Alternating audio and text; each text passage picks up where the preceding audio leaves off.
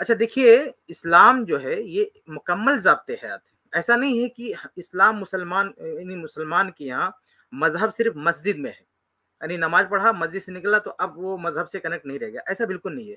बल्कि एक मुसलमान ज़िंदगी के हर शोबे में इस्लाम का, अल्लाह ताला के अहकाम का पाबंद होता है। तो इस्लाम ने फैमिली ला भी बताए हैं, यानी अपने घर में रहता है, मियाँ बीवी के जो ताल्लुकात हैं, फैमिली का जो मसला है तो वहाँ पे भी इस्लाम ने रहनुमाई की है।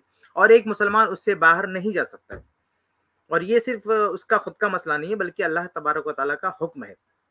और अल्लाह रब्बुल ने जो भी ये कवानीन बताए हैं, चाहे विरासत के हों, खुला के हों, इन सब कवानीन ऐसे हैं कि इसमें अल्लाह रब्बुल ने खुद इशारा दे दिया कि इसमें नज़र षानी की कोई ज़रूरत नहीं है।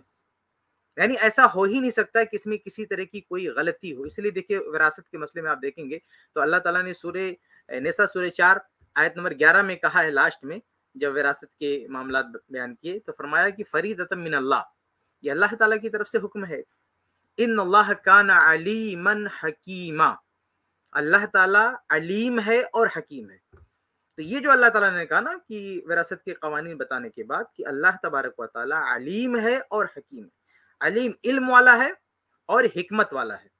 मतलब अल्लाह ताला के इल्म में कोई कमी नहीं। वो जानता है कि कल को क्या होगा, अगले जमाने में क्या होगा, सारी चीज़ें अल्लाह ताला को मालूम है, उस हिसाब से अल्लाह ताला ने ये कानून बनाया। और हकीम है अल्लाह ताला, हिकमत वाला है।